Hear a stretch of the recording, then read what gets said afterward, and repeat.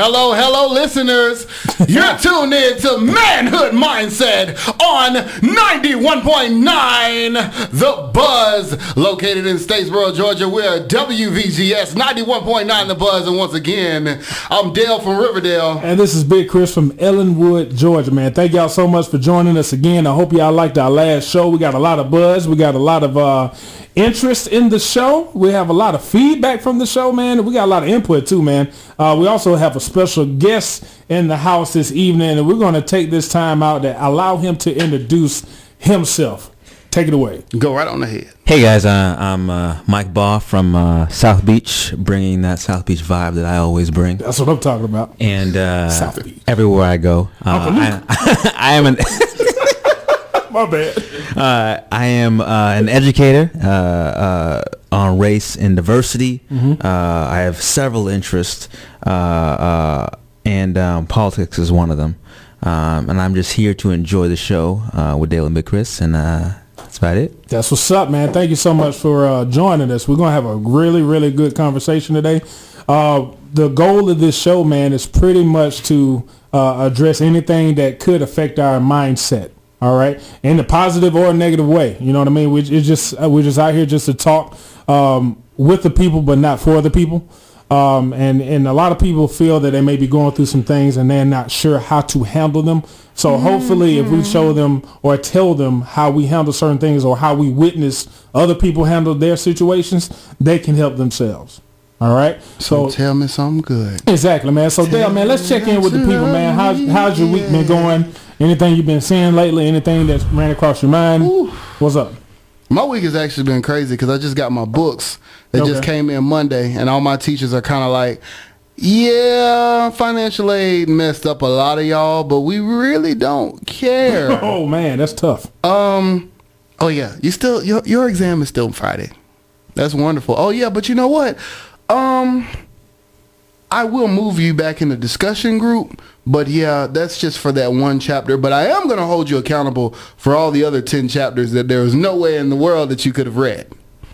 So that's awesome. But other than that, um, That's tough. that's awesome. I mean, hey, And I'm not laughing because it's funny. I'm laughing because it's extremely uncomfortable. I'm gonna be like a trucker tonight. I'm gonna have like five five hour energies, two NoDoz, three monsters, and a Kit Kat bar, trying to figure out, Sugar from hell. trying to figure out, trying to figure out how I'm gonna do this. if you're gonna be in the library, man, please do not levitate in front of the camera. They will call the police on you, dude. say you like there. There's a uh, uh, a black man glowing in the dark, uh, talking about you gonna get these chapters. I don't know what, what it- you gonna get these chapters. Hey, I'm gonna be reading so many chapters in one night. I'm gonna walk into the library and books just gonna start levitating, man. Towards you. I'm gonna be like Magneto with a magnifying A glass. MacBook roll, MacBook roll, MacBook worm. MacBook word. That's what's MacBook up. worm. But other than that, man, it's been great. My son's been doing great. That's Um, beautiful, man. Beautiful. He got plenty of everything that he need, including love. That's good. That's so good. other than that, I mean that's that's why we starting off late today. It's my fault. I'm gonna go ahead and take it. Take the I had to give him a bath and stuff. Like Man, that's daddy But other bro. than that, yeah. That'd be hey, hey what, what did King Joffrey Joffrey say uh come to it? Let them wait. Let the I'm talking to my son. exactly. That's how, hey, you know I'm gonna get you the satchel made out of a lion head. you just walk in there, let them wait. My son needed a bath. Move those peasants. No, it's so funny, man. This is gonna be the last thing. When I bathe him, he got a Winnie the Pooh bathtub. Hilarious. So I walk around like a Leonidas from 300, That's funny. and I'll be like, "This is the kingdom of Arnold, and you have just been bathed in the royal waters of poo. royal waters of poo. I don't know why, Man. Like, you've been dipped in the honeys and the oils. That's when I put the lavender and stuff on him hmm. after he done got the bath. After you've been bathed in the royal waters of poo, and he just loves it. He just he'll sit there, and if you if he looks like a prince on the throne, he'll be like, "Yes, my dad said." he intimidating all the non-imaginable people in the room. Like, he just he just punking all the toys. He was like, "Yeah, my dad said I'm number one." Number one, How, how old is he again? he's five months. Just chilling. He already got 21 year old facial expression. He sure does. Yes, he's a he's a very well-to-do judgmental baby. He will judge you. but he's so chill. He's the easiest baby. He really is. we is took him to a party one time, and um, he was in there grabbing more boobs than his dad was, and I That's was tight kind of and like, funny. That's just hilarious. all right, do it while you can get away with it, son. Exactly, man. It's cute so- now, and then all of a sudden you have paperwork to fill out. All right. all right, ladies and gentlemen. Well, actually, man, this week has been pretty uh, funny, I would say. Uh, I actually saw some stuff uh, on Facebook. There was a teacher in Atlanta Public School uh, that was reprimanded for having uh, inappropriate wear, uh, inappropriate. Uh, attire. Yeah, the the Please dress- talk about that. Yeah, and the That's dress. the okay. Please let's talk about. Oh my gosh, man! And uh, the comments, you gotta understand. Facebook. I didn't see the comments. Oh, it's- I mean, I saw the article. But Oh man, it's just funny. Well, she has been reprimanded, if I'm not mistaken. She has Yeah. been met with discipline, and all of her social media pages. I'm not sure if they're off or down, but some things have been deleted from what I've been told. And a lot of my homeboys from uh, back home in Ellenwood, they are crushed because they have because because they have single-handedly increased her friend count on Facebook and Instagram. All right, man. But no, uh, honestly, it's been a really, really uh, interesting conversation about body type, and um, and a lot of people are saying, you know, well, if she wasn't. Um, if, if she was of another race or they're they're uh, stigmatizing her and ostracizing her she and isolating her because of her curves. You know what I mean? A lot of people are looking at her clothes and her clothes. You know, some people are like, well, you know, that's inappropriate. I don't want a distraction to my children, but no one asked the children. you know what I'm saying? And so sometimes people will. Uh, will blame how they feel on I don't want my kid around that. No, you don't want your husband around that.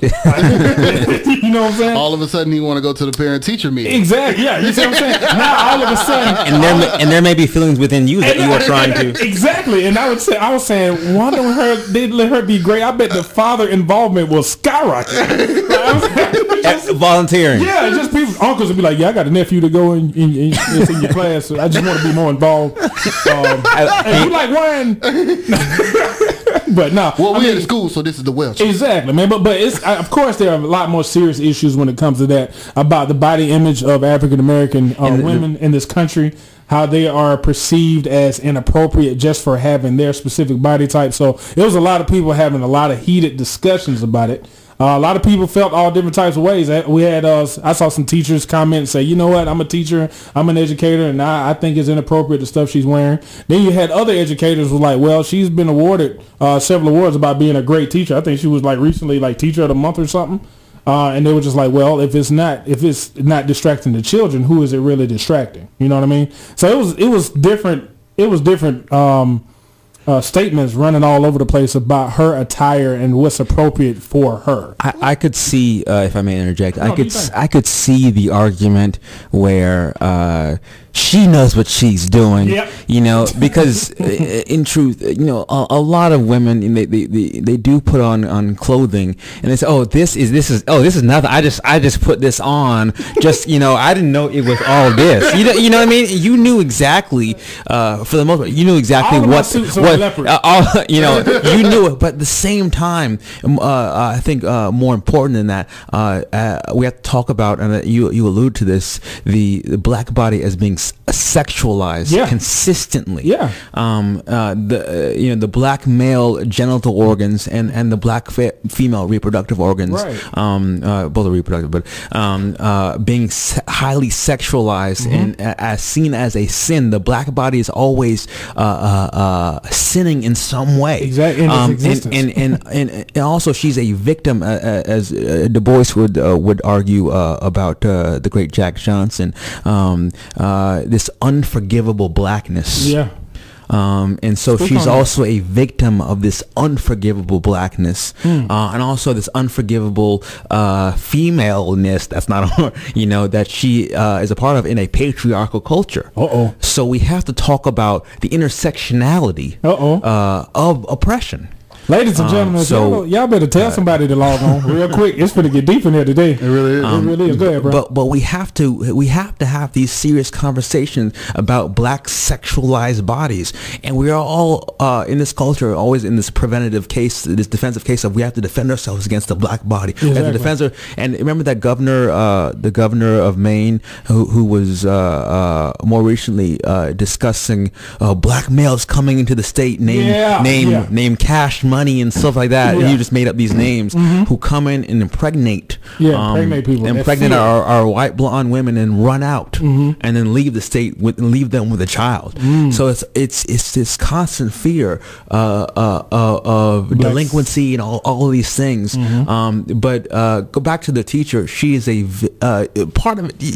Black black women often uh, embrace their curves and stuff like that. So I I do get the argument that she, in a sense, would know what she's doing. But this is more so uh, on on the parent uh, and, and student board, uh, and not the board, uh, the, uh, school board? the school boards and things of that nature. And more so, really, the parents causing an uproar uh, uh, about the body who is always has always committed to sin just by existing. Mm-hmm. Um, and so, existing within a certain social space is, is problematic for the black body. So, what social space is, is she within from a sociological perspective? Right, right. Um, because we, we exist in different spaces, and if we enter the wrong space, if the black or brown body may enter the wrong space, uh, that will be seen as problematic And dangerous. um, and uh, and dangerous for that black body um, because they are then putting everyone else in danger somehow.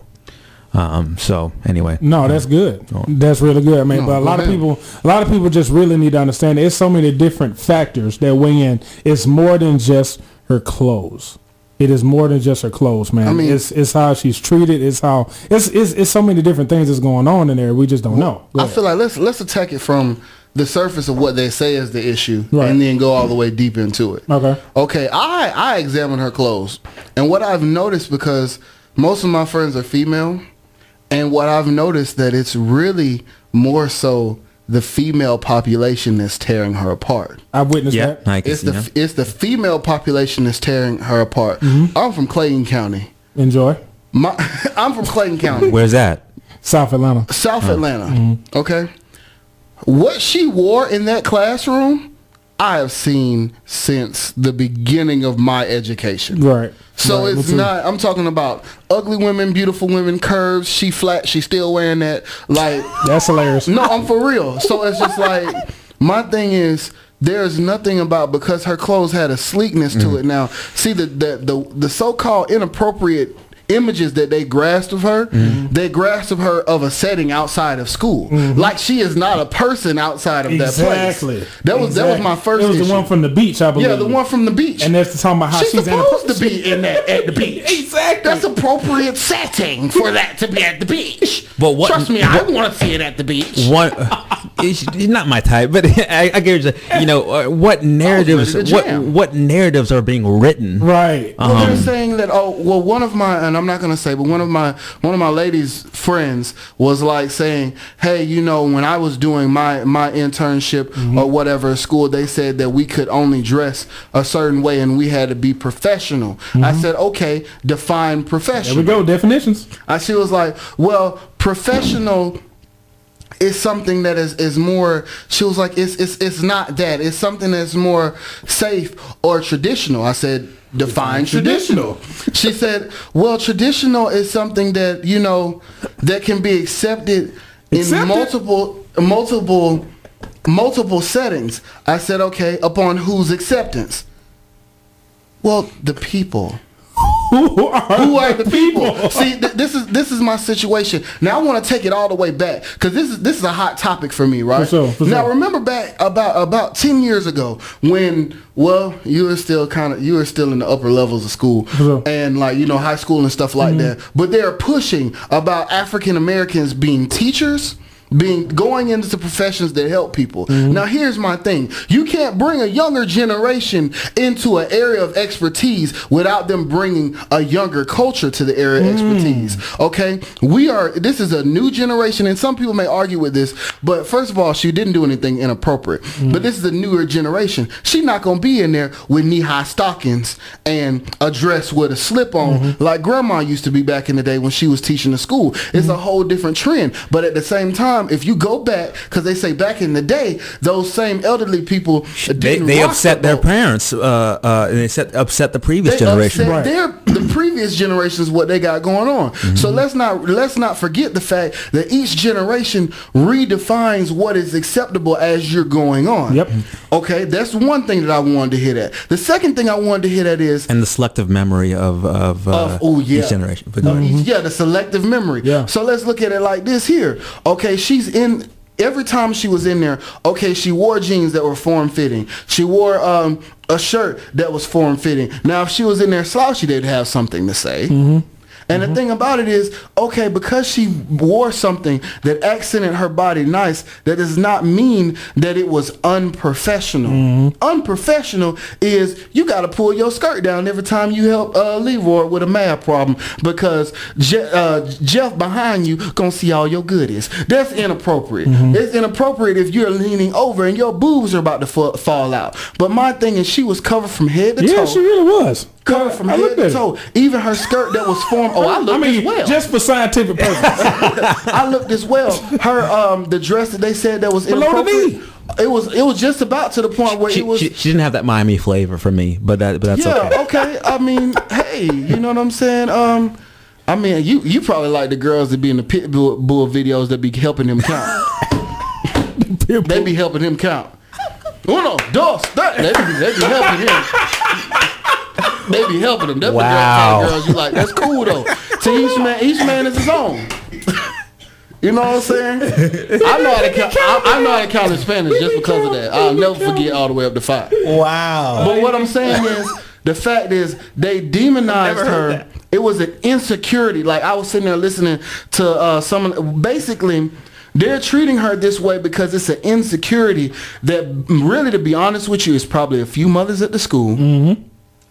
Who either was losing their man or about to lose their man, Dang. or was in a co-parenting situation, and it was difficult Yep. to watch their significant other or want to be significant Yep. other being like, "Oh yeah, I went to um, I went to Tim's school today, and I talked to his teacher. What you talking to her for?" Yep. And that's exactly where it started. Because what I've noticed in this society that really, to be honest with you, women define that standard of what is acceptable when it comes to women. At Mm. the end of the day, if women said, you will not treat us like that, and women stood together as a front and said, this is not going to happen anymore. If all the women got together tomorrow and said, look, we're not going to ever date a man that has curly hair.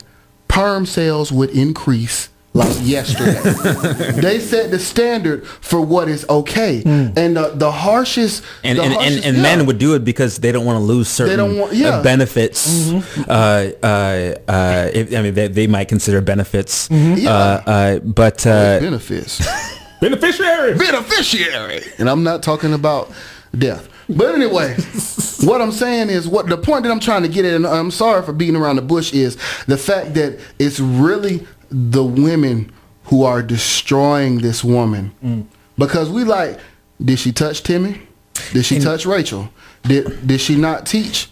Okay, her students got this grades in the class. She good. I'm, I'm just throwing this out Yeah, there. go ahead. Um, uh, I, I believe that the, the responsibility lies um, mainly in women to deal with women issues, and uh, Exactly. uh, I don't want to be a, a man and assert my patriarchy and say this is what you should be doing.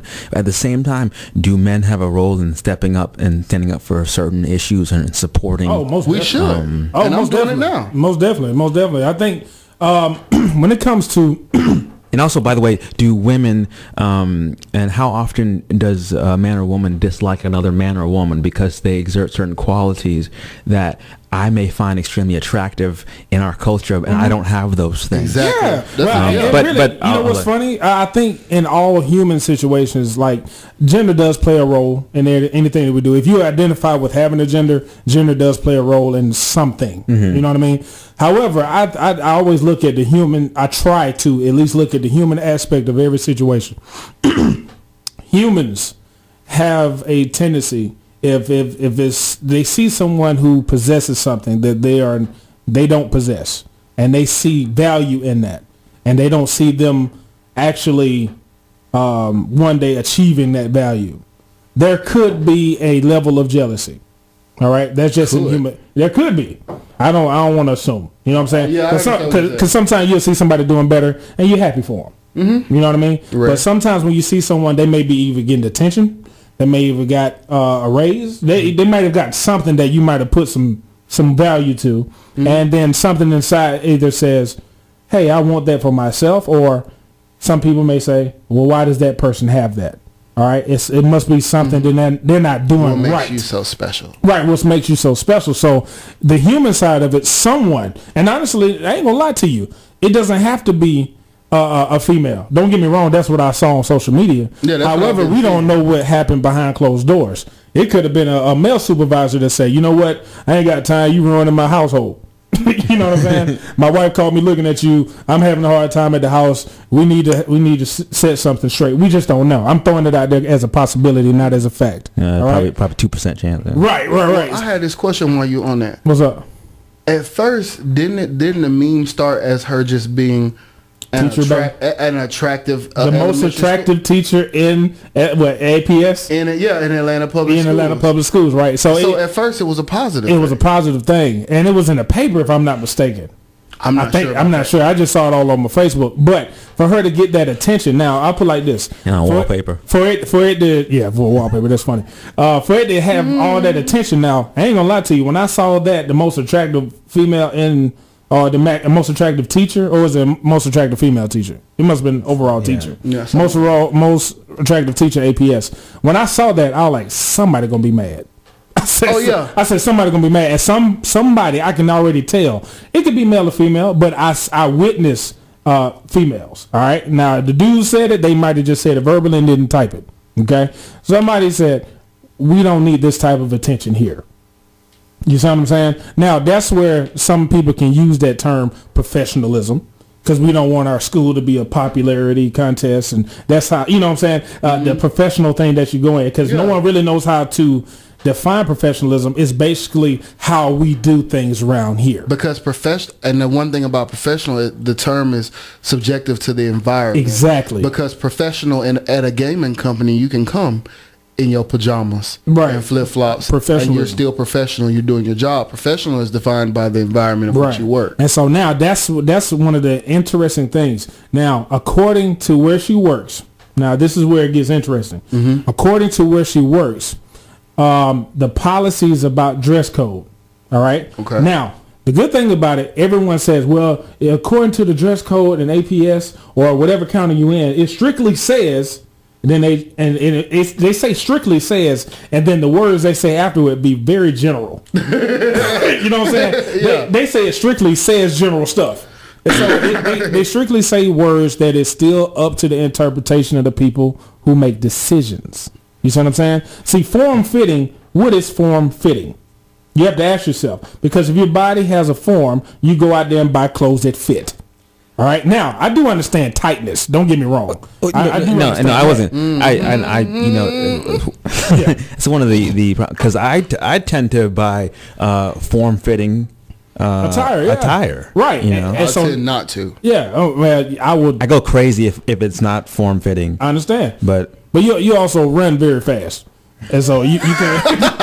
no, no, no. Mike Mike Mike Baugh has he, he has he's a speed demon. Uh, we were at He's always booking it. Oh man, he's he teleporter. Like, how you doing? I'm doing good. I'm doing good. But no, but I, I, I get what you're saying because that's your uh, ideal uh, way of dressing. and people have a judgment on that. exactly. and and label Exactly. me as, as something that I may not be, or label me as and judge depending on what I'm wearing. Right. Even even my own parents. Exactly. So and family members, and you mentioned earlier about the previous generation who are wondering, uh, who call my pants Slim Jims. I don't know how they got Slim Jims. Oh, wow. Um, uh, and these are the baggiest pants I have, but um, call my pants Slim Jims, and uh, wondering why I'm not wearing a three piece suit Wow. to wear. But uh, Wow, because that's it's it's boiled down to acceptance, y'all. I mean, it's it's whoever is in power at that moment in that space that you mentioned earlier. Who's in control of those spaces and who sets the tone for those spaces? Mm-hmm. That's what it really boils down to. So now I'm asking the question: All right, she's in that space now. The the photo. What happens is I think they were trolling her social media account and start looking at pictures and say, you know what, we don't like anyone modeling like this working at our school, right? but it goes beyond the four walls of the school. It it started following her in her personal life. Which made it unfair. Which is yes, and so now that now that's and and you know what's funny? You know we were talking about fairness, right? Mm-hmm. On the first show, when we look at fairness, I think that whole thing about setting people up when it comes to standards and policies, fairness is pretty much thrown out the window. Because if you if it, regardless of what you feel, you do what I say because I pay you. The fairness just went out the door. Exactly. You see what I'm saying? Now, It also can apply to the evidence we were talking about. Exactly. We're gonna get into that too. But today's today's show, I understand the reason why we started off talking about this is that isolation. She was isolated. Regardless of what we want to agree with or not, she was highlighted at first in a very positive light as being aesthetically pleasing, being attractive. all right. And then now it turned into her getting reprimanded. Okay. And so now we have no idea how she feels about it. She has, um, I'm not going to say she deleted her accounts, but um, based off something I saw on social media that some things were taken down. All right. We don't know who told her to do it because I'm pretty sure she probably had that talk like, hey, if you really want to, I'm not going to, allegedly, possibly, somebody might have said, you know, if you may want to do this if you want to keep your job. Yeah. You know what I'm saying? Or you may want to do this if you don't want to blackball yourself from a career in teaching. Exactly. You know what I'm saying? so That's a possibility. Go ahead. I mean, this points to uh, you speak of isolation and uh, uh, uh, Fanonian concepts in in in uh, in uh, Bald uh, Baldwin's concepts of, uh, and they both say something different. Uh, one about the invisibility of the black body, and one about the hyper. No, uh, sorry, it's it's uh, it's uh, Fanon and uh, Ellison. Um, uh, Ellison, as you know, The Invisible Man.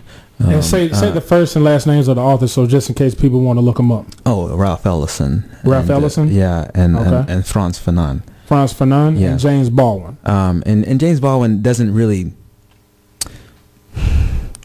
He doesn't say the words uh, like in the way that Ellison or, or but he uh, Ellison or Fanon, but he, he points he alludes to a lot of this stuff Right. too, and a lot of the black authors allude to a lot of these things. But Mhm. the the the hyper hyper visibility of the black body and the invisibility of the black body, Yeah. uh, how they are both, uh, and that can be a very isolating uh, experience, a very lonely experience. Both of them are used. Uh, and I, I don't want to go uh, uh, uh, too deep, but when we talk about isolation, we have to also talk about identity and the black experience Mhm. and how we are uh, isolated from our own selves and from our own psyches and parts of ourselves that we will never know. Mhm. Um, and so, uh, and a history that we will never know. So we are isolated not only within the larger culture, but within our own minds, our own bodies.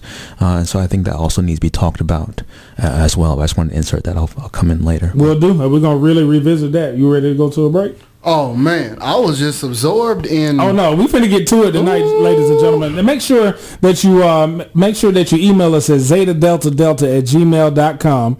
Uh, this is Omega Psi Phi Fraternity Incorporated's um, uh, initiative, Brother You're on My Mind. And what we're doing is talking about issues that could possibly affect our mental health. Today we're talking about isolation, uh, how to deal with it, what people are actually going through. We have some some feedback from people who are really feeling isolated in this in this world. All right, and it, could be in surrounding counties, could be from all over the country. You never know. We're also going to be talking about evidence and proof, um, and and how it affects fear. And we're going to be talking about how that actually builds up false evidence appearing real. So we thank you so much for tuning in. You might want to text and tweet, tell people to listen to the show because you might get some really good help this evening, man. Dale, take us away. Listen, listen, listen, listen, listen, man. We're going on a break. This is the Manhood Mindset on WVGS 91.9 The Buzz. Amazing. Welcome back, welcome back. This is the Manhood Mindset on WVGS 91.9 The Buzz. And That's- we're back. It's a complete definition of natural. That was natural. Flows like the waters late men of Lake Minnetonka, man. I don't even remember. I don't even know what that means. I just heard it in a movie. Yeah, what movie was that? I don't know. It's no. they- I seen it in Dave Chappelle. when Ah, that's was- what- that's yeah, what when it he was. was uh, doing a- uh, uh, when he was impersonating Prince. Uh, but yeah, shout out to Dave Chappelle, man. All right, ladies and gentlemen, welcome back to Manhood Mindset. Today's topic uh, is isolation, and then we're going to trans uh, transition into understanding evidence and proof and how that produces fear, which is false evidence appearing real. All right, Well, gentlemen. I'll tell you like this here before you even get into that serious Go I used to hate that part of football te- season when they would isolate muscles and there would be evidence and proof that I was out of shape. That's and it funny. would create fear. wow. isolated muscle structure destructions. Okay, I got you. All right, I just wanted to say that. No, It's it, hey, no, it's it's funny. It's funny. It's funny. Um, but isolation, gentlemen, this is what we're going to talk about right now. The reason why we're talking about this today is, first of all, like we said before, we're talking about things that affect the mindset of men, uh, particularly black men. However, we do understand that it may affect everyone. Okay, uh, isolation. Isolation could be defined as a as, as a term that says um, a person that may be ostracized or kept away from a group or who've been treated differently based off who they are and, and ha- they have to witness everyone else treated a different way. Um, and we don't have a necessarily like the Webster's dictionary. We're going to go off based off how we feel when we're isolated, when we feel that we are isolated. Um, when you may be treated a certain way because of who you are, uh, when you are uh, removed or included based off who you are. Because sometimes people don't understand there can be isolation in inclusion, especially if people include you for the wrong reasons, right? You can be a celebrity and people flock to you, but you can still feel by yourself because people only want you for what you represent or the or the spotlight that you may have. You know what I mean? So we're having a lot of people, uh, especially like a lot of students on campus, um, and, and saw a lot of people around the Bulloch County area. A lot of people feel isolated. Now, I had a, a really good talk with a gentleman uh, a few days ago, and he's a father. He's a, he's a married man, um, a father of four kids, and he talked to me about really how he feels about some of the things that's been going on in society, how helpless he feels as a father and protecting his kids. Wow. All right. Now, I asked him to elaborate on it. He said, well, the things that are going on, and me as a, a black male, I really don't know what I can do, what I'm allowed to do to protect my own. And honestly, I feel helpless. I feel isolated, and I feel by myself. And I really just do not know what to do. Um, and we talked about it for a while because I think the first the first thing you got to do is when people feel by themselves, the quickest thing we do is tell the person, "No, man, it's not like that. You're not by yourself." You know what I mean? That's that that com- compensatory. I want to help you out. I see you in pain. I don't want to keep seeing you in pain like this, right? However, I just had to hear him out. You know, I just keep talking. Tell me why you're by yourself. Tell me why you're always thinking that you're the only one going through this. Now, the biggest misconception is when someone tells you that they feel by themselves, they're not telling you that they're the only one going through it on the face of the planet. They're the only one that's feeling the exact pain that they're feeling. You see what I'm saying? And one thing I had to do was make sure you respect each other's pain and respect everybody's situation of isolation because we really just don't know what it is. If they are feeling by themselves, we can't necessarily think we can relate so fast. If, if I'm making sense to y'all. Um, so I asked him, I said, man, just elaborate a little bit more. What are you talking about? He said, well, man, I just cannot be the father to Tamir Rice. I really don't know how I would take it. I'll be devastated. And I can't be the father of Trayvon Martin. He said, I just can't do it. Um, he said, I look at that situation. I look at my children every day and I have to send them places. And I have no idea if I can protect them wherever they're going. And the first thing you want to say is, man, everybody goes through that. You know what I mean? However, when it comes to him, his situation with his children, his his life, it has to be respected. So honestly, man, I just I listened to him. I didn't give him any answers or nothing like that. But I, huh? No, I, I didn't give him any answers or anything like that. But I really wanted him to understand that he was not crazy. That's the only thing I wanted to just make sure I almost, tell him. It's almost as if he's asking the question instead of stating something and uh, about isolation. It's almost as if he's asking the question, "What am I going to do uh, about this hopelessness and, and slight helplessness that I feel? Exactly. Um, uh, and, and can you help me?" um, and uh, and uh, there there is uh, help in camaraderie. There's there's help in in family. I don't mean blood family, Right. Um, but uh, I think many uh, many a black man, many a many a brown body as well ask this question. Um, and, and when I mean brown body, I mean those who really look ethnic Yeah. who are asking, what am I going to do in this uh, uh, dangerous American landscape, uh, in this uh, desert of a place we call America? Because there is a certain isolation and a certain loneliness that does come with being in the desert. Desert could be a good thing for Je- for Jesus, um, uh, it- but it also can be a- at night sometimes a lonely experience, and, and we are experiencing night in a sense, um, uh, uh, especially for the black or brown body, Oh, and, yeah. and existing in this dark. What are we going to do in this deep loneliness and and, and deep uh, dread that we feel that we have to hug at night that embraces us without us even choosing to? Uh, so so asking the black having the black body ask themselves uh, and ask other other black bodies, what am I going to do with this feeling, this inescapable feeling Mm-hmm. um, that haunts my days and, and haunts my nights? Mm-hmm. Uh, uh, uh, and so I think that's something that needs to be addressed as well. Exactly. Does that make sense? Yeah, man, it makes perfect sense, man. I, I think one of the things I wanted to do, um, especially when you want to help people, you want to be honest. Sometimes you want to answer, you want to give that mm-hmm. answer, and sometimes I have to make sure I check the ego of being a helper, mm-hmm. um, and say, well, that person may not need that answer right now. He might want some truth from you. You know what I'm saying? Because sometimes when we think we're trying to get an answer, we're trying to give the correct one. You know what I mean? Mm-hmm. And sometimes we're we're trying to search for the correct answer to give someone. you were conjuring up something that sounds nice, and they only right now they needed something real. Oh man, it'll be all right. Yeah. yeah, And then and then the man and and and and this is what we, we really want to talk about and dale i want you to i want you to kind of I, I guess think of a situation that we're, we're talking about i know during the break we were talking about it can be uh, in america it can be within your family it can be within at your job it can be within your friends because some people this is what a lot of people don't understand now a lot of people who have grown up together are drifting apart Okay, a lot of people are dealing with that.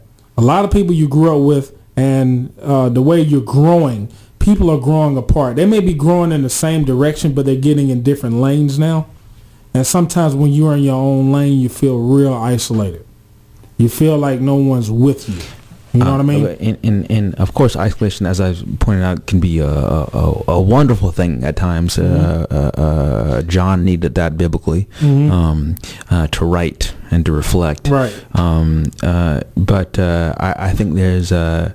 Uh, uh, what do you think about? Oh, she expanded about. What do you think about uh, why people are getting in their own lanes and stuff like that that you speak of? And honestly, to my to my knowledge, uh, I can speak uh, personally, and I can speak on behalf of who uh, have told me about their experiences. Some people, life experiences have drifted them into their own lane. You know what I mean? Um, they may have been isolated, and their friends may thought they isolated themselves, when in fact, in actuality, people isolated that one person. Um, and you know, some people, you know, when you're growing and, and, and you're doing different things, some people may not understand what you're doing. So what they do is they put their un- misunderstanding as you're trying to be selfish or you're not letting me in on it. Because sometimes your growth, you don't even understand that You're just trying your best to. And you don't even know how to explain it to your friends.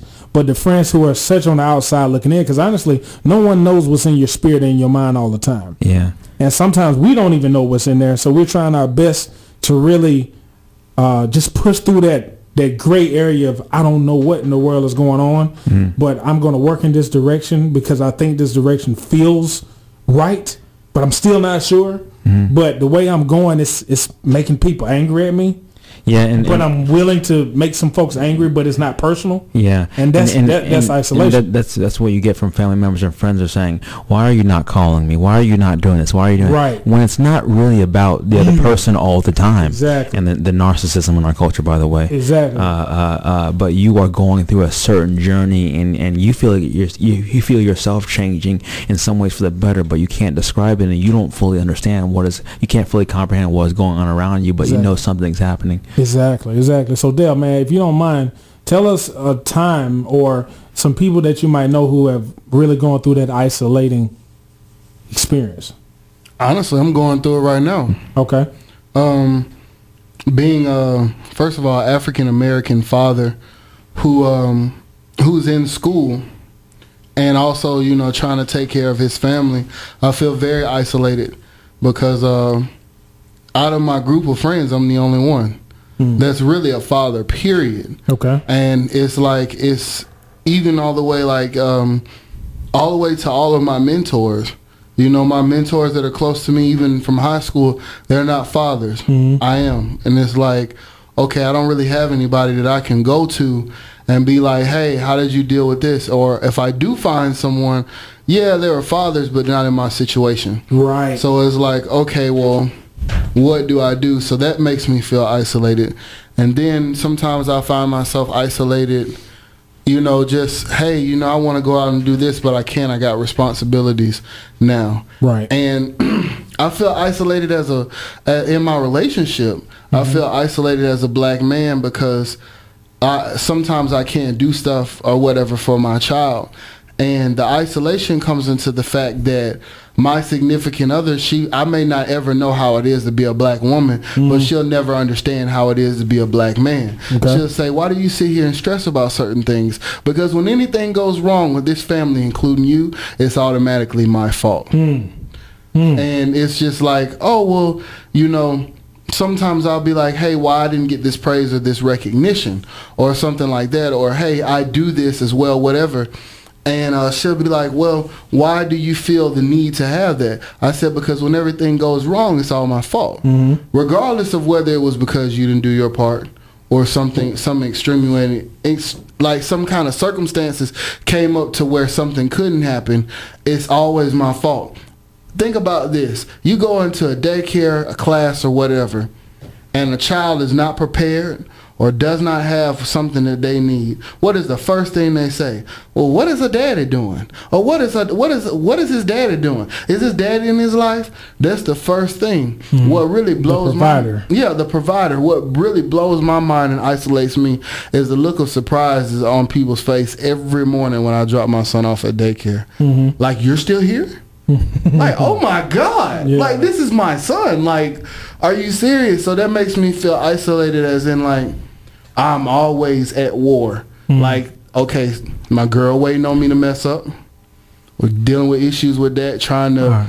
balance um, being um, a man as far as for her, a man for myself, a man for my son, and being a family man at the same time. All the while being a stu- being a student, being the best that I can be in my fraternity and my bond is like no one else that I know is going through all of the same things right now. Right. So I feel isolated, and I can sit here and I can talk to people, but at the end of the day, all they can say is, "You beasting it." Yeah, but I'm dying inside. Yeah. So it just And makes me feel. how much of the Hmm? how much of uh, I'm not sure I, even I have an answer for this question, but how much of this is is uh, pressure from the um, we live in a Eurocentric you know society Mhm. who defines what manhood is, and we uh, uh, we may adopt uh, some ideas and, and pressure or feel certain pressures Exactly. because um, as slaves we may get our idea of what manhood is from massa. hmm So, um, uh, and, and but at the same time, you look at certain uh, Native American tribes, uh, Native American cultures. Uh, what the what the man does and what the woman does is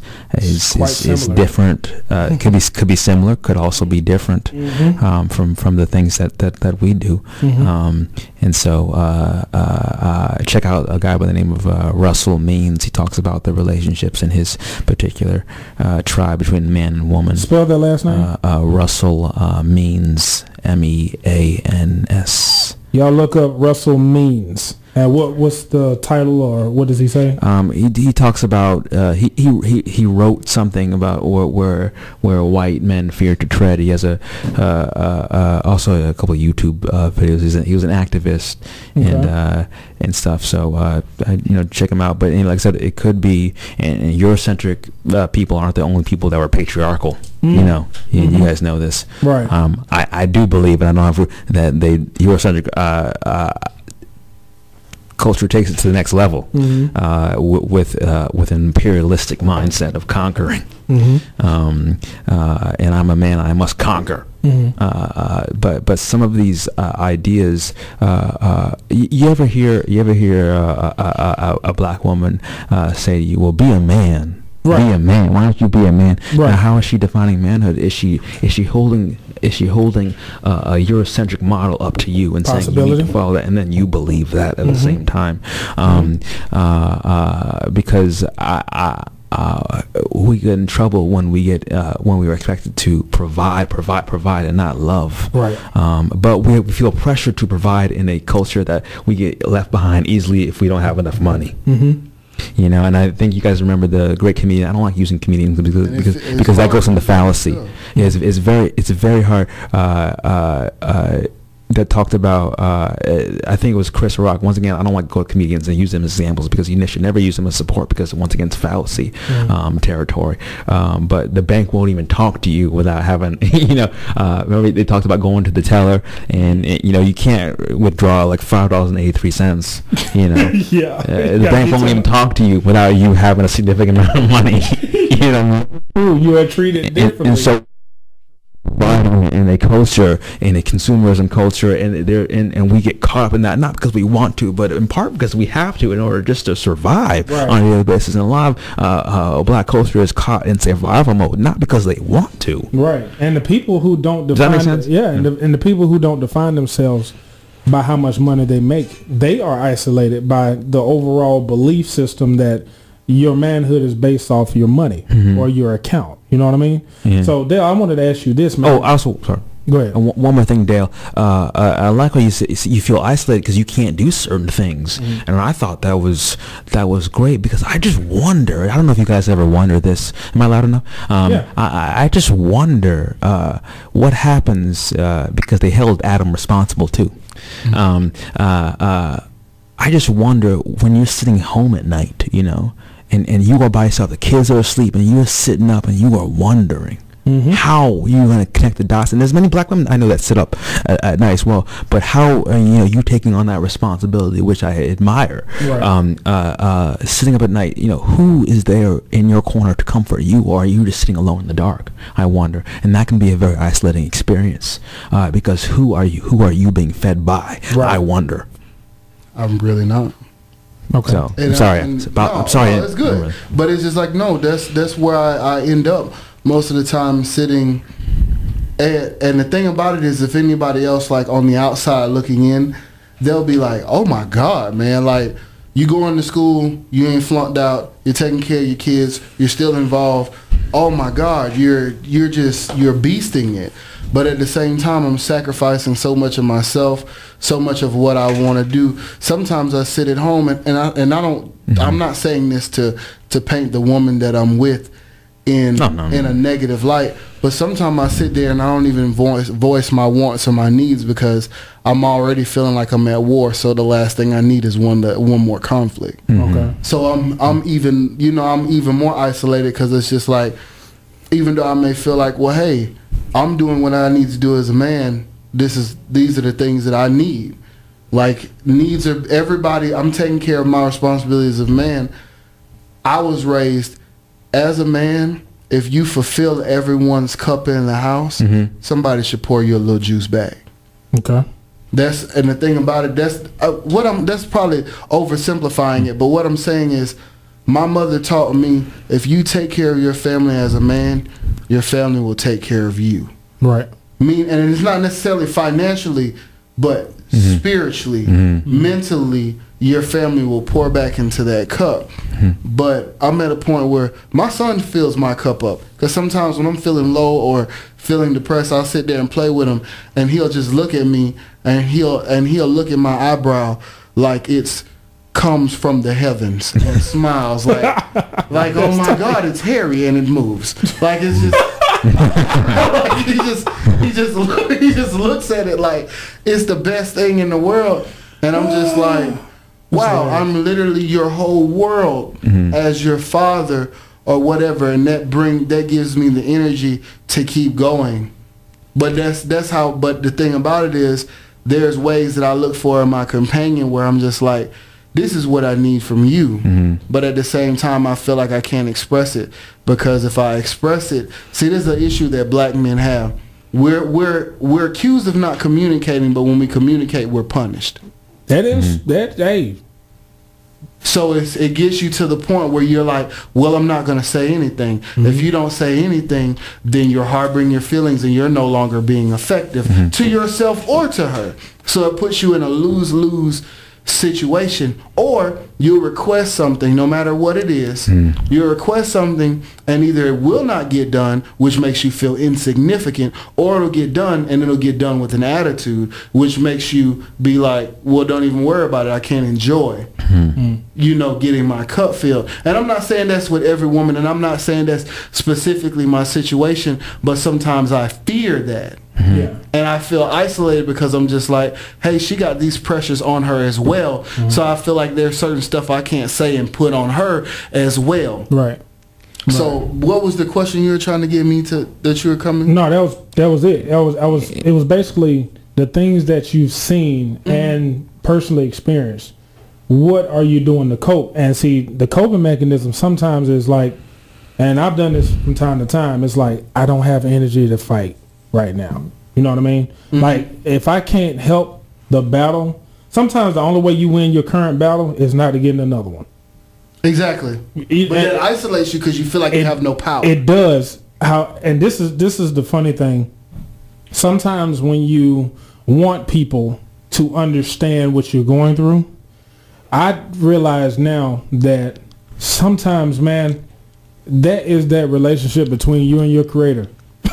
like I, th- I think Yeah. that's where it just boiled down to from time to time. I don't, I don't think that people will be just all the way disconnected from what you're doing, but there's such thing as empathy and everything. Some people at least try to empathize with you and try to connect with you. Like, yeah, I've been through something similar, this, that, and other. But man, your spirit and your soul and your mind, that is somebody made that, and somebody knows exactly what you're going through that no one else will. And that isolation, I'm not gonna lie to you, that in that aspect, isolation can be extremely positive when you know the most powerful being in existence is the only one that understands. You see what I'm saying? But I know that disconnect from humans, hmm. you know, because that's the people we can see, and that's that that's that that's that balance, man. Like, cause sometimes the same thing that depresses you is the some of the it, when you switch your perception on it. As soon as you make a choice to look at it a different way, it can give you all the power you needed to, you know, break through whatever was going on. So say for instance, if all the human beings around you, close people, have no idea what to say to you to help you, right? Mm-hmm. But we love you. We be like, hey man, I really don't like. Sometimes when we talk, I be like, man, I have no answer. yeah, no answer. Like, however, I just know when we talk, I say you just don't need no lie. you know what I Yeah. mean? I said just don't give him something else to, for him to try to figure out. You just don't be an extra barrier. That's the, that's sometimes that's my only response. But sometimes, man, when you get into that house by yourself and you know that, man, I feel by myself, but for some strange reason, I know I'm not.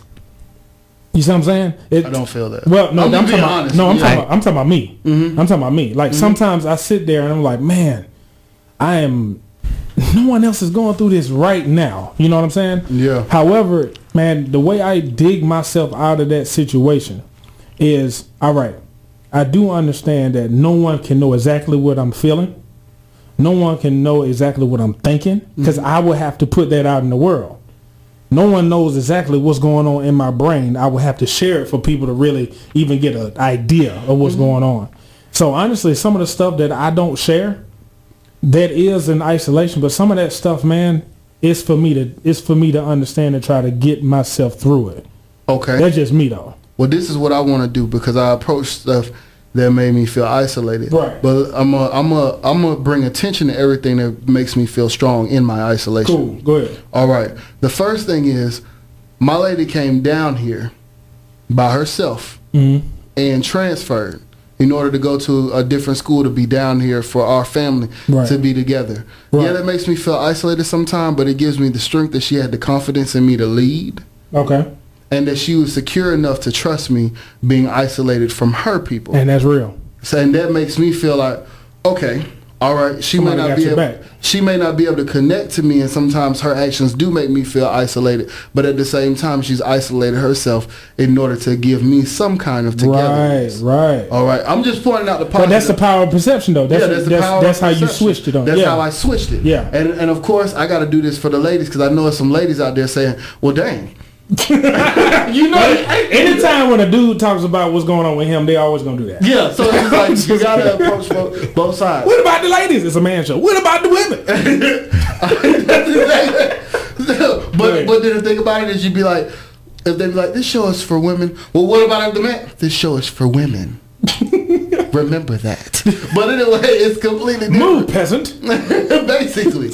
but and then also at the same time, I'm like, wow, I'm getting ready to finish my last year of school. Wow, I I accomplished becoming an Omega man.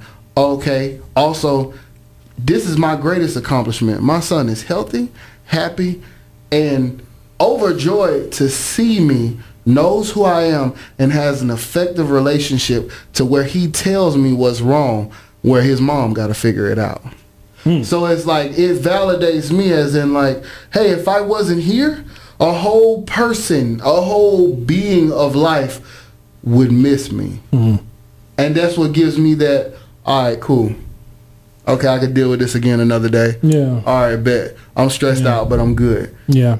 And that's that's what flips everything around. Honestly, I don't think if it wasn't for him, I wouldn't have the strength to do what I do every day. Right, and I think that isolation feeling is not to be destroyed, man. I th- I think it's to be looked at. I need to ease up though. Yeah, well, trust me. Well, I think I think the stress and the fear that's associated with isolation, and that's what we're talking about today. That fear that's associated with that isolation. Like when you're by yourself, what are you scared of?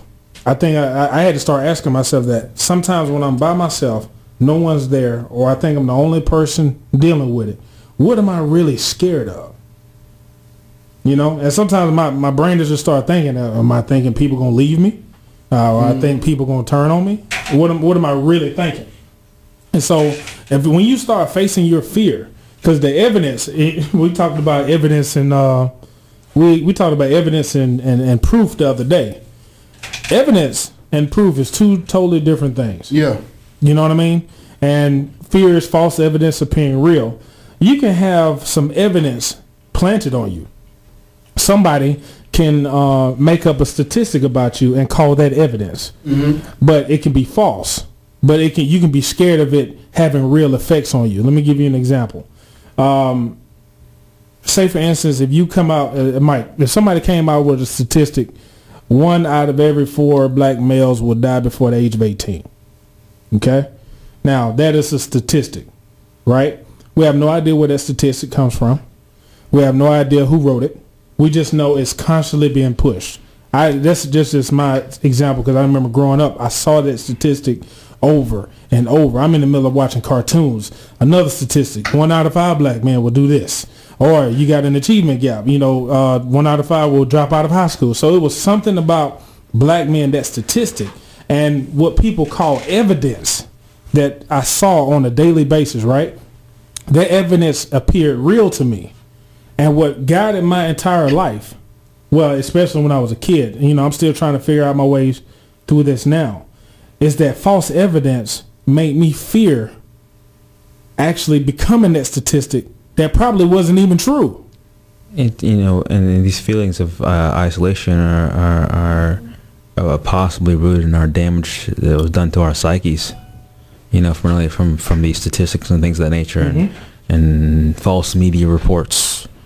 Um, uh, But we were one out of five black men, but nobody asked us to fill out that evaluation form. that's, that's what I'm getting. It's the evidence that people can use that evidence against me without even including me in the evaluation. That that right there, it messes with your mind and it make you feel by yourself. Because guess what? That one out of five black men, every well, and I ain't gonna speak for everybody. I would say internally, I identified with that one, and I started living trying not to be that one out of five. And that a lot of people that I grew we, up with, we start running from an early age. exactly, And- we don't and- want to be that one. and, so and, and we find ourselves uh, often alone and, and distant from every, we, because we ran away. you Yeah. know? Yeah, yeah, Um, yeah. Or you you worked ten times as hard trying not to be that one, but you end up True, killing yeah. yourself. Yeah. You ended you ended up isolating yourself because that statistic isolated you. So it was like double isolation. It was like you've already said one out of five, and you ever you ever went to uh, like a college program and they say, or a high school program or any upper program, they say, look to your left, look to your right. One of those people won't be here with you. And see, but what what will make a person? Don't get me wrong. Even if- Five of you in this room will die. that's what it was say. I mean, I've been in I've been in situations, man, where we've I, I remember in, in growing up, we used to have these speakers come to these schools, man, and they would I would call them the bad decision speakers, the people who made really horrible decisions, and, and they were paid to come scare you. Right, and so they were like, you know what? Some of y'all gonna die, and I'm like, who wrote your check? I, like, I need to know. Someone in the back.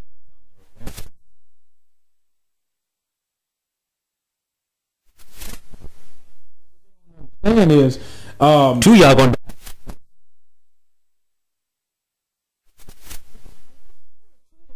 Somebody approved it. like somebody approved this guy to come and tell us we gonna die. Like you know what I mean? And so what you do is like see what don't nobody understand is regardless of what he says, no one can control the impact and how those kids take it. You have no idea what kind of reinforcement they may see at the house that they're going to blame themselves for. Mm-hmm. And then not only that, if you hear it in the news, you hear it at the school, and then when you go home, you hear another statistic by a parent that's trying to give you tough love you will base your life out of that one out of five. And that's not true for everybody, but it's true for the people that it affected them in that way. And sometimes you can live your life based off of fear, the false evidence that appeared real at that time. People have statistics about black men all the time, man. And I ain't gonna lie to you. Me just watching TV, sometimes I'm like, who is looking at us so close? I used to just ask myself, you, I mean, we have statistics about a lot of things, but when it comes to black males and black people, I've seen the most statistics out of, and I don't, and I can't say that it don't exist because I mean, of course, you have to do your research to see how many statistics are out there, but I know that statistics that have been exposed to me on a great scale have been about people that look like me, and I'm wondering what that is. Is it evidence or is it proof? And sometimes some people could just have write something down and say, "Hey, this is just evidence that achievement gap." Well, you know, you guys test lower on SAT scores. You know, you just do. Which No. is which is really, as you know, a, a resource gap and an opportunity gap. right. And so, but they can use it as evidence. But what is that proving? No one wants to talk about what is it proving. They're just going to use the Uh, evidence. a, a narrative that they are trying to perpetuate. It's proof for a narrative, exactly. And uh, so, but it depends on what story you are trying to tell. Exactly, and that's where that fear comes from. See, fear, the isolation, that evidence, all the things that are being used, especially when it comes to men, we don't really understand how many barriers we're actually facing. Sometimes we can um, we can um, really just believe that, hey man, just pull your, you know, everybody had that bootstrap conversation. Just pull yourself up by your bootstrap. Life ain't fair. Just do it. Yeah, yeah. Life may not be fair, but life is harder for some. Let's just say that. Life is not fair, but life is specific. A specific treatment is for certain people. I've, I'm a living witness to it. You know what I'm saying? Yeah, I had a question because you explained the lower test scores comment that he made. Can you explain, um, Mr. Shaw? Could you explain ball, ball, ball, No, I can't explain it. ball, ball, Mr. Baugh? Could you explain why is it that? Because I've I've noticed this as a young father. They say we don't want to be fathers. They say we will not be fathers. We will not be there for our kids. We're less likely to be fathers. But every time I look around and I and I look at myself and I feel special for what I'm doing.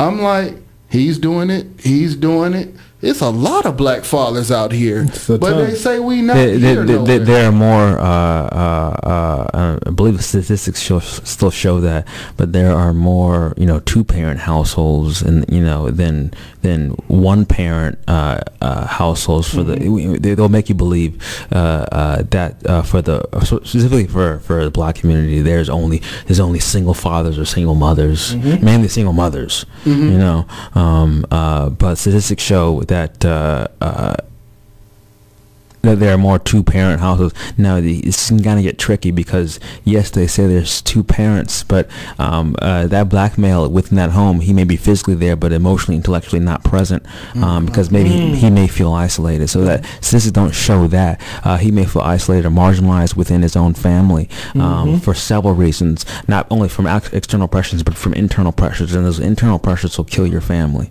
um, uh, uh, uh, sometimes more so than external.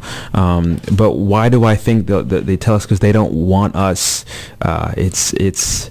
Uh, uh, want us reproducing for whatever reason. Just like they, they don't want uh, um, uh, uh, Muslim families reproducing to take over America somehow, um, and uh, which is very difficult to do because there are several forms of naturalization acts throughout history, and there's different forms of naturalization acts right now that are unofficial that keep uh, uh, black and brown bodies from from expanding in, in the ways that, that I think that they should. Um, but this is uh, they tell you because maybe it is possible on the on the most basic level they don't want you to, but also they don't want to believe that you can, and they don't want you to believe that you can, um, because because uh, uh, that what may produce a, a a nightmare within their so-called American dream. Wow. Can you can you elaborate on the term? I know a lot of people um, when you say black and brown bodies. Yes. I'm not gonna lie to you. When you every time you say black and brown bodies, it it does something to my mindset, right? And it's different from saying black and brown people. Black and brown bodies. Can you elaborate on what that that term or the phrase means, and what what does it? Is there a difference between um, black people and just black bodies? Because when you talk about ba- black bodies, I kind of interchangeably, but uh, but uh, when I'm talking about black and brown bodies, I am talking about uh, let's say black. I am talking about the collective black African American, Jamaican, Haitian, and uh, yes, uh, those you in South America who have forgotten, um, who call uh, Portugal and uh, and uh, Spain mother and father instead of Ghana and Nigeria. Um, uh, but uh, I am also talking about brown bodies. There's a, a you know here in states where there's a there's a pretty nice sized migrant community who, who are marginalized, uh, uh, who uh, for some reason or other aren't allowed to assimilate within the culture. Um, and and I don't. I think assimilation. People talk about melting pot, and as Derrick Jensen talks about, uh, who who does the melting? It's never it's never.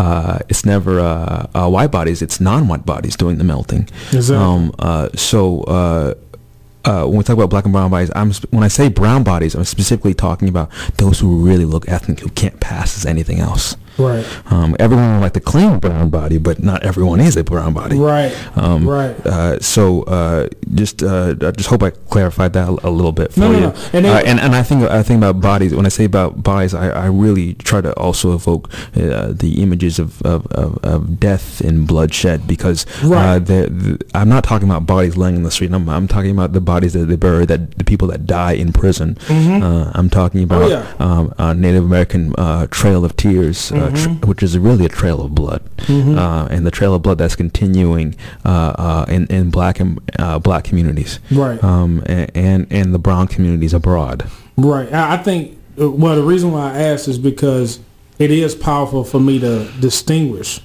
um, what you mean. You know what I mean? It wasn't like it was incorrect. you know, you know. But some people may, some people may, if they've never heard of it, they're like black brown bodies. What does he mean? I, I what I'm gonna tell you what I get from it. What it forces me to realize is that the bodies of black and brown people are moved around like chess pieces when it comes to certain environments on, on this planet. Um, and just, I mean, if you really look at, And, and there's nothing wrong with, of course, with chess pieces uh, uh, uh, moving. It, it just determines your your role on the on the board. The pawns True. must sacrifice their lives for the king, True. and the queen, True. and the bishops, uh, uh, preaching a certain religion uh, uh, that uh, that continues to marginalize uh, and, and preach uh, uh, American, li- you know, liberalism. You know, that whole picking up your individualism, which picking yourself up by your bootstraps. And, Right. Uh, but as Martin Luther King said, the Negro has no shoes. right, right, right. So, it, I mean, it, it honestly forces me to understand the dehumanization piece of this whole thing we're talking about. Because sometimes we are just a body in a, in a situation to other people who have power. You know what and, I mean? and we are we are a body. We are just a body. Yes, Right. I think you're right. Now, Right. Uh, we in, in in some cases we are just a body that is written upon. Right. What is written upon that? Uh, a lot of things. Yeah, a lot of things, a lot of things. So we're actually going to take a like a quick break, and then we're gonna we're gonna uh, finish with how are we going to take this isolation that makes us fearful, and how we're going to start overcoming the fear in our lives. All right, that sound cool to everybody? No, yeah. All right, man. Dale, take us out, man. All right. I gotta head out soon though. I understand. This has been soon. another little segment of Manhood Mindset on WVGS 91.9 The Buzz. Welcome back to Manhood Mindset on WVGS 91.9 The Buzz. And Man. we're going to get right back into it. man, that's all right. They ain't gonna keep saying it. They just, we're gonna have to start charging people for that. We're just gonna do it. Like, did you hear it? Okay, uh, GoFundMe Dale from Riverdale.com. All right. Um, but ladies and gentlemen, we've been talking about isolation today. Uh, we talked about uh, that that alone feeling. It could be physical, emotional, academic, and uh, honestly, one of the most critical in my book is spiritual isolation. Oh my God. Um, sometimes, man, you really just don't even know if you're being heard, especially sometimes when you're praying. I'm just, I'm just put that out there. I'm not saying that God don't work, man, but it's gonna be some. It has been some days that people think that their prayers are not answered, and sometimes when your last resort, the only weapon you got left is prayer, and you can still send it up, and you still don't see any results.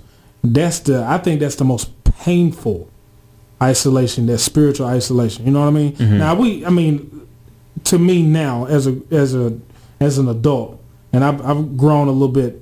Uh, I try to grow on a, a daily basis. I know I'm never alone. That's just me. That's my personal opinion. Uh, whether I get the the answers that I want, or the attention that I want, or the quote unquote help that I I requested, uh, to me, God ain't no genie. So I already I kind of know with our relationship and everybody's relationship with whoever they think their creator is or or who they don't think their creator is that's totally up to them. I'm just talking about me. Um, our relationship is very um, chris i'm waiting on you. Like you know what i mean? It's not one of those things where he hasn't fulfilled his half. It's, it's one of those things where i might not have understood what his 50% looked like. And I guess I was still waiting. And then it got to the point where sometimes that quiet answer or that lack of an answer was me not understanding the answer he gave a long time ago. Or you know, are you uh, deep down understanding his answer, but manipulating it Right. to soothe your own ears? yeah. Kind of, you know, ahead of my own life, I've kind of uh, uh, uh, messed up. Uh, uh, where I guess I'm supposed to be in a sense, if that makes any sense, um, uh, because I've kind of like transformed his words and ideas into my own narrative because it makes me feel good. Right. Right. Or blaming him for your own decisions. Oh, I know people that do. I, I And honestly, sometimes, you know, sometimes, you know, you would think it was, and then you find out it was you. Then you find out it wasn't, and then you find out it was you again. Because sometimes it just, it takes that, that discipline with that, that listening, man. Like, um, just understanding distractions and not trying to believe the false things. Um, it's a difference between what you've been told about your creator and what you know about your creator. I think And- a lot of people need to at least visit that. I know I did. It helps me out a little bit. and um, just to jump a little bit, but still similar, but it's not the same thing you're talking about. The isolation that that uh, uh, Jesus needed in the desert to hear, Mm. uh, hear more clearly, Mm-hmm. um, and uh, and uh, it just also made me think of that. Right. Um, there's isolation with you know in your prayer, yes, as you were talking, Mhm. talking, um, because a lot of times we do want things most wicked speed, um, and uh, uh, but also the isolation uh, uh, that that is necessary for our growth. And there's also when you think of isolation, you also thought that so when you when you compound isolation from like a spiritual sense, and then isolation in your own little world that you're in, that we're living in on a daily basis. Like uh, um, sometimes I, I might feel isolation from uh, my uh, desire to not assimilate into the culture that which I'm surrounded by. Um, so we have all these things together, just uh, this compounding uh, creates a snowball effect, uh, and it's problematic in our lives. But hopefully that made sense. We talked about over the break. How do you handle isolation when you're isolated in a in a supposed to be inclusive environment? You ever notice, or have you ever been in a situation where you're in a spot where this was your group, this was your let's I mean let's not dress it up. You may feel isolated from your own race from time to time. You know what I mean? Uh, your own family from time to time, the people that's related to you, or your group of friends, like we mentioned earlier in the show, the people you grew up with, or the people you hang out the most with, the people who know the most about you. When that isolation hits, the people that is that's your support system. When your support system isolates you, how do you handle it? And you could be isolated because you've outgrown them, Huge or maybe. So uh, how do you handle it? Um, uh, you know, depends on the person, obviously. But I, I truly believe in, in spring cleaning. You might not have might not have. It's, it might not be necessary for you to be in my future plans anyway.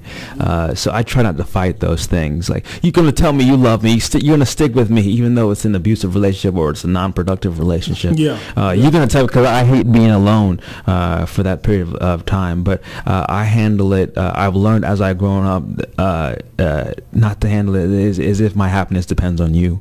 Um, uh, and we do need others in our lives. Yes, I think that's beneficial. Uh, but I've handed uh, the older I've grown, grown, I just yeah, in stride. Uh, uh, it was necessary. Uh, thanks for for riding with me uh, these few miles, and uh, uh, I will continue. Uh, though a person said one time an analogy that kind of made me chuckle, but I started thinking about it after a while. They were like, "You ever saw the loose strings on the bottom of your pants?" And I was like, "Yeah, I've seen those before. Yeah, bottom of your jeans. You know, sometimes they get frayed at the bottom and stuff." He said, "Those loose strings. Sometimes those are your friends still trying to hold on."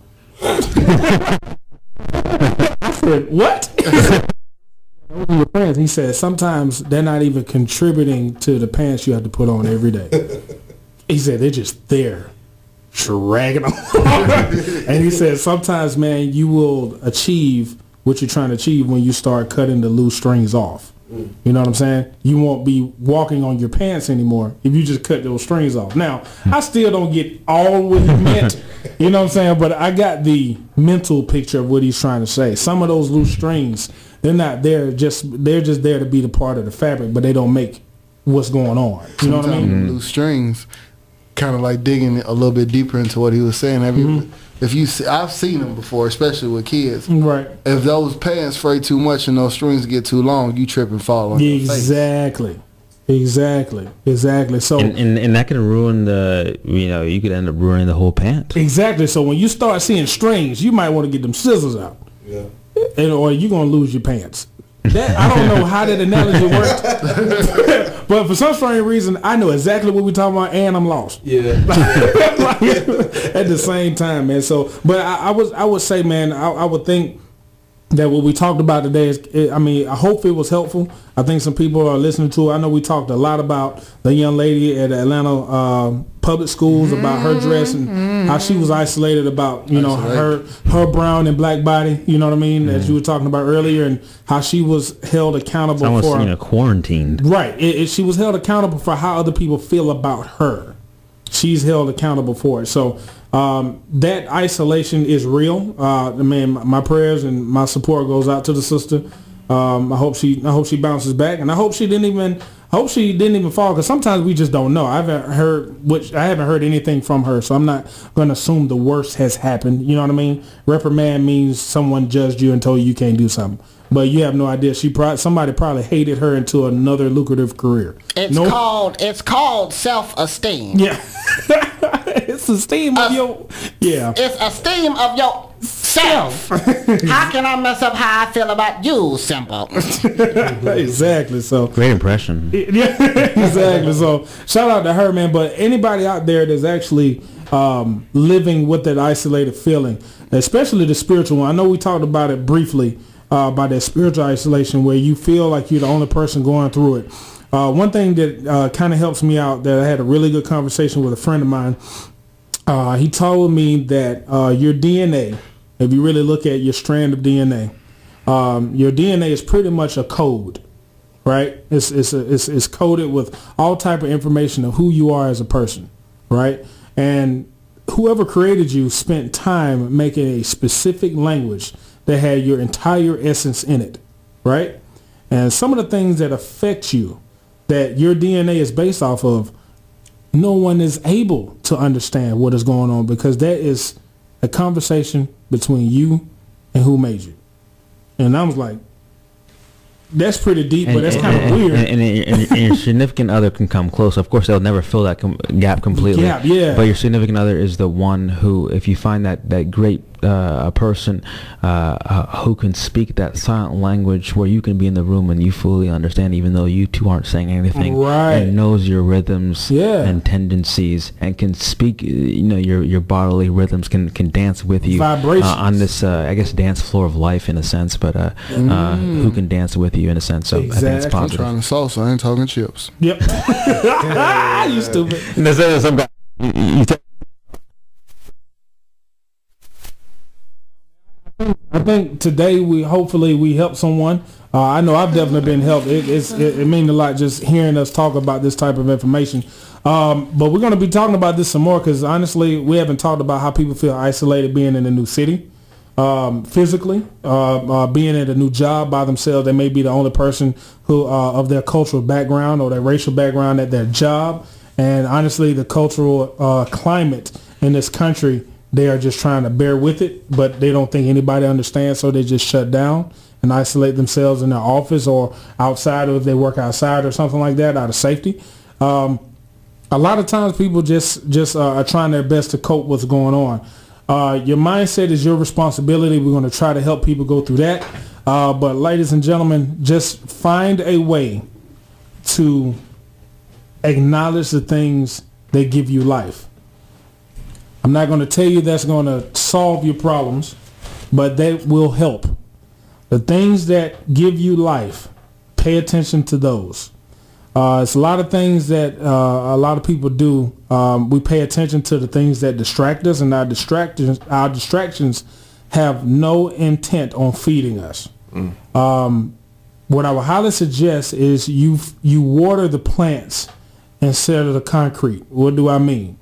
Uh, the concrete is is hard, is is cold, it's sturdy, it doesn't move, it's it's not it's not it doesn't allow that much growth, and if it does, you have to really grow for I don't know how many years for some plants to go through some concrete. You know what I mean? You have to fight really hard, and then you see the plants on the side of the concrete who just grows because they're in a natural environment. You know what I mean? So what I would highly suggest people, man, find the plants in your life, the people that give you oxygen, the people that give you food, spiritual food, physical food. There's people out there that will feed you physically. Keep those people in your life. you know what I mean? But the people Uh, that except for, and, and by the way, don't believe the lie that if you don't eat uh, uh, uh, collard greens and, and, and cornbread, that you are not black, uh, and you, you just go over there because they're food. I mean, you can love the heart clogging stuff if you want, um, uh, but I, I, I don't.